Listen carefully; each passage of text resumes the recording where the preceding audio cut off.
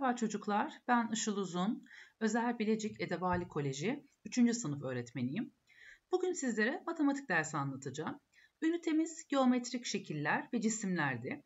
E, bu konunun alt başlıklarında geometrik e, şekiller, Geometrik cisimler ve şekiller. Geometrik şekiller e, ayrı bir konu, geometrik cisimler ayrı bir konuydu. Evet bu konumuzu işlemiştik. Önce geometrik şekilleri gördük. Daha sonra bunlarla cisimler oluşturmuştuk. Bunlarla ilgili çalışmalarımızı yaptık. Geometrik örüntüler oluşturduk. E, kitaplarımızdaki e, geometrik şekillerle olan çalışmalarımızı yaptık. Boyamalarını da gerçekleştirdik.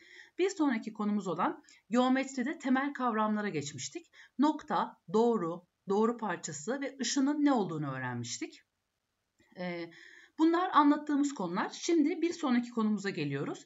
Ee, bir sonraki konumuzda açının ne olduğunu, yatay doğruyu, dikey doğruyu ve eğik doğrunun ne olduklarını göreceğiz. En son olarak da e, bir sonraki slaytta sizlere simetriyi anlatacağım çocuklar.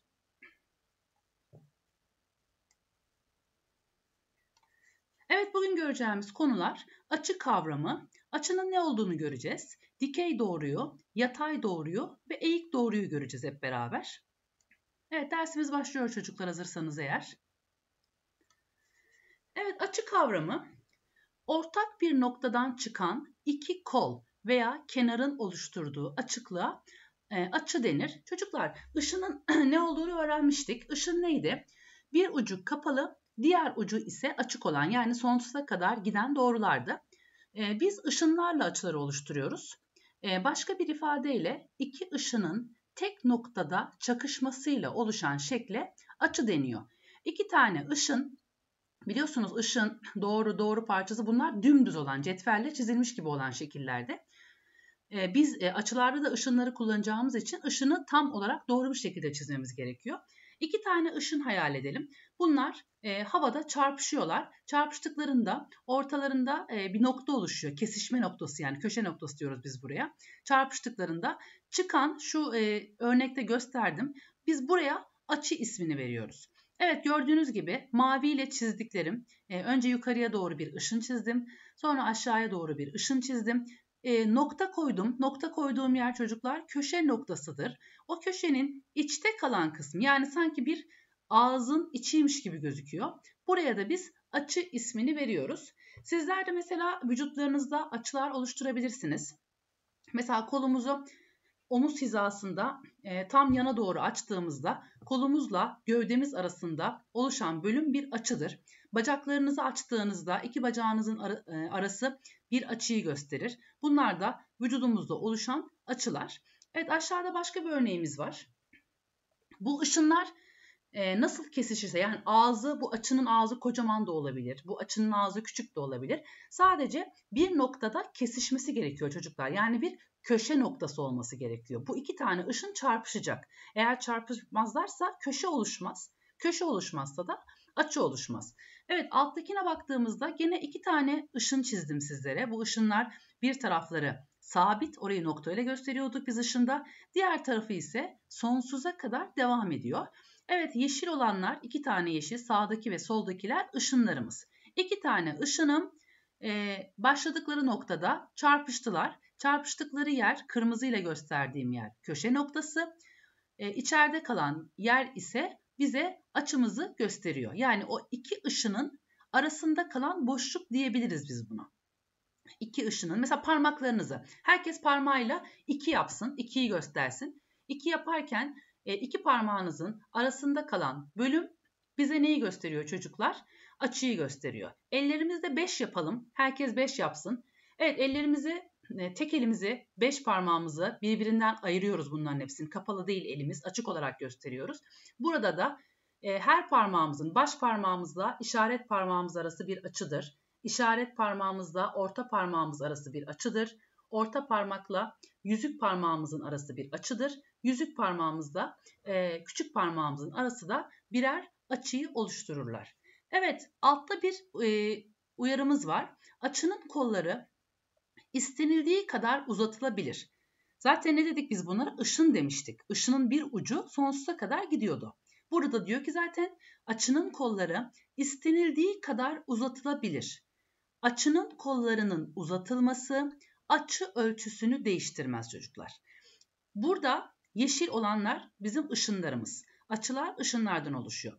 Işınlarımızı istediğiniz kadar götürün. Fakat ortadaki açı hiçbir zaman değişmez. Çünkü aynı yönde ilerliyorlar. Fakat ben onları e, daha fazla açarsam yani onun ağzını ağız gibi düşünün orayı. O ağzı daha fazla açarsam açının ölçüsü değişir. Ama sadece uçlarından uzattığım zaman açının ölçüsü değişmiyor. Evet bir sonrakinde açılı çocuklar bu kadar. Dediğimiz gibi iki ışının kesiştiği yere biz açı, açı ismini veriyoruz. Köşe noktası var. Köşe noktasının içinde kalan bölüme biz açı ismini veriyoruz. Şimdi gelelim diğer başlığımıza. Yatay, dikey, eğik, doğru parçaları. Zaten isimlerinden çok net anlaşılabiliyor. Yatay, hani yatık durumda olan anlamına geliyor. Dikey, dik duran anlamına geliyor.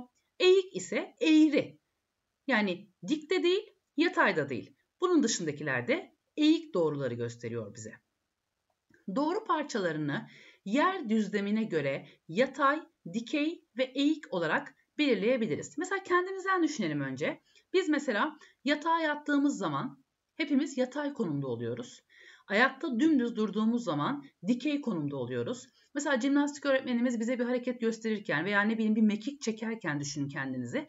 Mekik çekerken ise e, önce yere yatıyorsunuz daha sonra kendinizi ellerinizle yukarıya kaldırdığınız anda da vücudunuz eğik doğruyu oluşturuyor. Tabi hareketi doğru yaparsanız. Evet şimdi örneklerimize bakalım. Orada bir düzlemin üzerine size e, çizgiler çizdim. Bu çizgilerimiz neydi peki? İki ucu da kapalı. İki ucu kapalı olanlar neydi? Doğru parçasıydı. Evet burada e, dikdörtgenlerin içinde doğru parçaları var. Bir düzlemin üzerine çizdim bunları size göstermek için. Evet ilk şeklimiz yatay doğru. Gördüğünüz gibi hani onu bir insan gibi düşünün. Yatmış, yatay bir doğru oluşturmuş. Evet mavi olan yazı dikey doğru parçası bu. Evet e, bu da dik olarak duruyor. Dik olarak durduğu için biz buna da dikey doğru parçası diyoruz. Evet diğeri ise eğik doğru. Çünkü yatık da değil, dik de değil, arada kalmış. Biz de buna eğik doğru parçası diyoruz. Evet alt tarafta e, karelik kağıt üzerine çocuklar noktalar belirledim. Rastgele yaptım bunu. Sizler de bunu yapabilirsiniz kendiniz. Kareli kağıt üzerine tam köşelerine, kareli kağıdımızın tam köşe noktalarına noktalar koydum. Noktalarımın hepsini rastgele koydum. Rastgele koyduktan sonra gene istediğim noktaları rastgele bir şekilde birleştirdim. Fakat birleştirmemi yaparken özellikle dik ve yatay olanları tam olarak çizgilerin üzerinden çizmeye özen gösterdim. Cetvelle çizilmiş gibi oldular hepsi. Evet biz noktalara ne demiştik bir önceki dersimizde? büyük harflerle adlandırıyorduk noktalarımızı. Evet buradaki noktaların hepsine ben A noktası, B noktası, C noktası, D noktası, E noktası, F noktası, G noktası ve H noktası dedim. Böyle hep böyle olmak zorunda mı? Sıralı gitmek zorunda mı? Tabii ki hayır. İstediğiniz harfi verebilirsiniz. Tek kural var. Büyük harf kullanmak zorundasınız. Noktalar her zaman çocuklar büyük harflerle adlandırılır. Küçük harflerle değil. Daha sonra ben elime renkli kalemler aldım ve bu renkli kalemlerle istediğim noktayı mesela ilk başta A ile E'yi birleştirdim. Daha sonra işte A ile B'yi birleştirdim. B ile D'yi. Mesela oradan A'dan C'ye de gidebilirdim. Hepsini birkaç tane oraya doğru parçası çizdim. Hepsini e, birleştirdim. E, çizdiğim doğru parçaların üzerine fark ettiniz mi bilmiyorum. Mesela E doğru parçasına bakarsanız doğru parçalarını biz küçük harflerle gösteriyorduk. Üzerine e, küçük harflerle e, hepsine bir ad verdim. Artık hepsinin bir adı var. E doğru parçası, H doğru parçası, K doğru parçası. Noktaların hepsi büyük harfli, doğru parçaların ise hepsi küçük harfle isimlendirildi. Daha sonra alt tarafa dikey, yatay, eğik diye bir gruplama yaptım. Evet başlıklarını yazdım. Sonra buradan doğru parçalarıma sırasıyla baktım. A doğrusu parçasına baktım. Kırmızı olan A doğru parçası. Bunun dik olduğunu görüyoruz çocuklar. Dimdik bir şekilde aşağıya indiği için onu dikey olan bölüme yazdım. Daha sonra B doğru parçasına geçtim. Evet bu da orada gayet güzel yatmış. Yattığını hepimiz görüyoruz. Alttaki açık mavi olan. Evet onu yataya yazdım. Daha sonra C'ye geçtim. C'ye bakıyorum. A'ya çok benziyor. O da dimdik duruyor. O yüzden o da dikey doğru parçasıdır. Evet daha sonra C'den sonra E var yukarıda. D var pardon sarı olan önce. D'ye baktım. D dik değil. Yatay da değil. İkisinin arasında kalmış. Bu eğik oluyor çocuklar. Eğik doğru parçası. Onu eğik bölümüne yazdım. E, D'den sonra e, orada üstte E var. E'ye baktım. E yatık olduğunu görüyoruz. Çünkü kağıda yatmış pozisyonda duruyor. Şimdi bu kağıt bu açıdan baktığımız zaman böyle. Ben kağıdımı başka bir yöne çevirdiğim zaman çocuklar bunların hepsi değişecek. Mesela kağıdı saat yönünde bir kere döndürdüğüm zaman E noktası dik olacak bu sefer. Biz sadece şu an bize verildiği şekliyle bakıp dik mi, yatay mı, eğik mi olduğuna karar veriyoruz. Sizlerin de bu kağıda böyle bakmanız lazım kareli kağıda. Eğer bu kağıdı çevirirseniz bütün doğruların şeyleri değişecek. Dikler yatay olabilir, yataylar dik olabilir. O yüzden farklılık gösterebilir. Bizim yaptığımız sonuç burada görünen şekline göre. Evet dikey olan doğrularım A doğru parçası, C doğru parçası ve H doğru parçasıdır. Bunlar dikeydir. Zemine dik olarak inmişlerdir. Evet yatay olanlar B doğru parçası ve E doğru parçasıdır. Bunlar da yataylardır. Yatmış konumdalar. Evet geri kalanlar zaten eğikleri oluşturuyor. Eğik olanlar da D doğru parçası, F doğru parçası, G doğru parçası ve K doğru parçasıdır. Evet sizler de çocuklar e, böyle çalışmalar yapabilirsiniz. Burada bir e, düzen gerekmiyor. Sadece karelik kağıt eğer varsa evinizde izometrik kağıt da kullanabilirsiniz. Noktalar yapıyorsunuz. Bu noktaları cetvelinizde istediğiniz şekilde birleştirebilirsiniz. Birleştirdikten sonra da hangilerinin dikey, hangilerinin yatay, hangilerinin eğik olduğunu belirleyebilirsiniz. Evet örnek olması için ben size harflerle bir çalışma gösterdim. Bu çalışmayı. Bu da sizin yapabileceğiniz bir çalışma. Mesela ben harfleri kullandım. Sizler de sayıları kullanarak bunu yapabilirsiniz. Bazı harfleri kullandım. Mesela M, büyük M sesiyle başladım. Büyük M sesine baktığımda büyük M sesi 1, 2, 3, 4 tane çocuklar doğru parçasından oluştuğunu görüyoruz. Zaten biz M'yi yaparken de 4 hareketle yapıyoruz. Önce e, dikey bir çizgimizi çiziyoruz. Sonra bir yatay var. E, pardon eğik var. Sonra bir tane daha eğik var. Sonra tekrar dik var. E, bunları birinci sınıftan hatırlarsanız bunların hepsinin bir yapma aşamaları vardı. Kaç hareketle yapıldığını göstermiştik. Şimdi M sesimizde 4 tane doğru parçası var. Bunlardan 2 tanesi dikey, 2 tanesi ise eğik doğru parçalarıdır. Evet, A'ya baktığımızda A'da 1, 2 ve ortadakiyle beraber 3 tane doğru parçasından oluşuyor. Burada ise iki tanesi çocuklar eğiktir. Yani A'nın gövdesini yaparken oluşturduğumuz parçalar iki tanesi eğiktir. Ortadaki küçük olan ise yatay doğrudur. Evet E'ye bakıyoruz. E'de 1, 2, 3, 4 tane doğrudan oluşuyor. E bunlardan 3 tanesi yatay. Hepsi 3 tanesi sırasıyla yatmışlar görüyorsunuz. Bir tanesi ise dikey doğrudur. Bir tanesi ise dik olarak aşağıya inmiştir. Evet L'ye bakıyorum. L'de iki tane doğrudan oluşuyor. Bunlardan bir tanesi dimdik duruyor yani dikeydir. Bir tanesi ise yatmış. O ise yatay doğruyu oluşturuyorlar. Yani bir tane yatay, bir tane dikey diyebiliriz. Evet, K sesine bakıyoruz. K sesi 3 tane doğrudan oluşuyor. K sesinin e, en baştaki doğru dik olan doğrudur. Onun dimdik durduğunu görüyoruz. O K'nin ağzı ise, ben hep onu ağza benzetiyorum çocuklar. Ağzı ise iki tane eğik doğrudan oluşuyor. Yani K sesinde iki tane eğik, bir tane de dikey doğru var diyebiliriz.